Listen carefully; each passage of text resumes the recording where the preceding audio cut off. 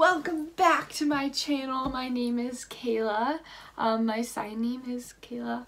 Um, so today we're going to be talking about me and all my favorite subjects. Um, so today we're going to be talking about like how I became me and my hearing loss. I've gotten a lot of questions about my hearing and like everything. Whatever, doesn't matter. So we're gonna start before I was born. Um, I have a mom, dad, uh, oh, I was gonna say younger, older brother. Um, my older brother is a year, almost two years older than me. Um, but my mom was pregnant with me and she was holding my brother and she tripped and fell and to make me not be born like early she got like an injection from the doctors. And that caused my hearing loss um, even before I was born. Um, so when I was born I passed all the hearing tests um, which is like obviously really common for when like children are born in the hospital um, to see if they're like blind or like deaf whatever. Um, then I grew older and my parents saw that, um, wow, maybe she is deaf, I don't know. like she's not like hearing anything, like they would go behind me and clap and like usually babies would like react like, you know, but I did nothing and it wasn't because I was like a great baby.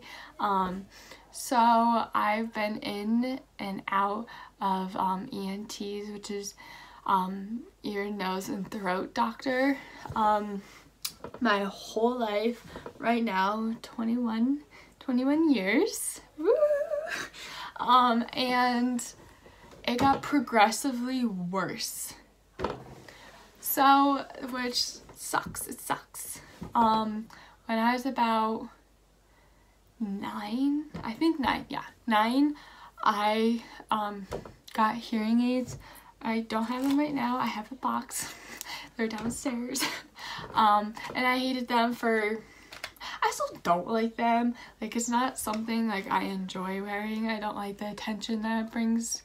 Um and I don't like hearing. Like I just don't enjoy it. It's just loud, the background noise, whatever.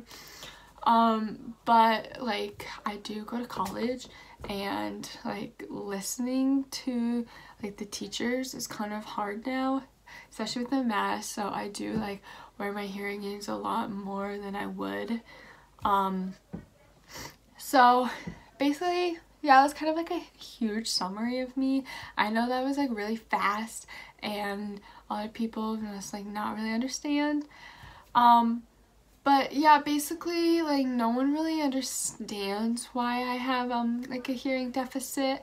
Um they like think like they don't know, but they kind of think that it was because when my mom fell and they got the medication that it kind of messed with my hearing. It was like a side effect. Um, and then just progressively like the years go by and everything that my just hearing kind of just like stopped and kind of just got worse. Um i know a lot of people are saying like you're not deaf you're hearing. I can talk i know i did talk about this but like i'm gonna do like a like a video again on it that i went to speech therapy for oh my god 12, 13 years of my life. Hated it. I still can't pronounce words like Monopoly. I'll put the words up here like in the text. Actually, I don't know how to do it in specific areas, so like they're gonna be somewhere. Um, Monopoly, and Julie. Um, just some words I can't pronounce. I don't have like a deaf accent, which a lot of people are saying, why are you teaching ASL? Like you're hearing, like no, not all deaf people can talk. Um, not all hearing people can talk. So check yourself. But um, I actually have a service dog. She does kind of help me a little bit with hearing. She's not for hearing and a lot of people who are deaf have balance issues it's something their cochlea um, I do but she's not for that I'm actually trying to train her for more hearing stuff um, just to alert me for emergency vehicles when I'm driving because I can't hear them and it puts me in an unsafe situation. It clearly puts them in an unsafe situation since I need to pull over. Um, but like that's some of the tasks that service dogs can do for deaf people.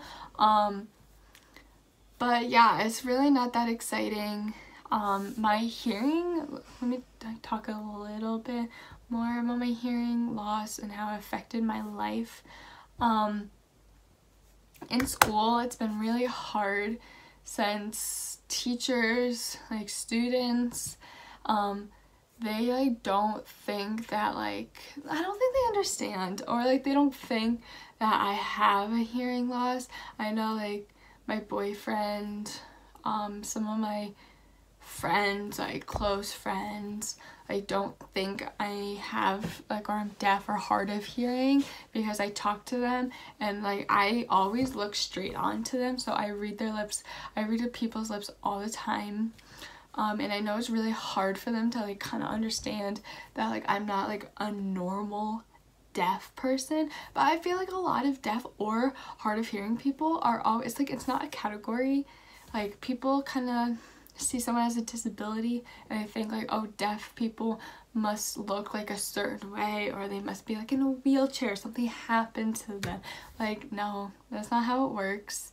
Um but like it's kind of hard being hard of hearing and still kind of talking um, because people don't believe me which is so hard and annoying. And I also saw this comment about this little boy um, he was 11 I think and how he tells his parents that he like can't hear and I guess they don't believe him and it might be because he does talk which is hard on parents to know that their kids have a disorder or something is wrong with them. Um, I don't see if something's wrong. It's so frustrating sometimes. I get really mad at myself because I have to say, what? What did you say? What? Can you re repeat that again? Um, there's days that I hate it. And like I know I preach about loving it and everything, but there's days that are really, really hard. I remember like crying the other day in school because my teacher sent the disability center six six yeah six articles on why she doesn't have to accommodate me with the clear masks because she knows I could talk and like I think she just thought like I was lying or something I don't know and like I couldn't understand her. She had an accent and it was really really heavy accent. And I was just crying because like it would have been easier if I can hear right? But at the same time like I can't change it. And I just need to embrace it. And if I can help like that little boy um at least help him it kind of makes me feel better because not everyone is lucky as I am that I got hearing aids. And my parents are amazing and helping me um my mom and dad has always been like you gotta wear your hearing aids no one really cares kids yeah kids are mean but like once they grow up you'll be okay um, so I'm lucky to do that or have that. So that's why I want to give back and just be more teaching ASL and like trying to make myself feel better about it at the same time. Yeah, I don't really know where this like video kind of went, but whatever. Um, anyway, thank you for watching. I hope I to see you next time. Um, comment, like, subscribe whatever. If you have a hate comment or a mean comment, please leave it home because I will respond. And when you leave a hate, when someone leaves like a hate comment, I get really mad and I will respond with meanness and I don't want to because sometimes people just sound stupid, like so stupid. So I respond with a stupid answer. Anyway, thank you.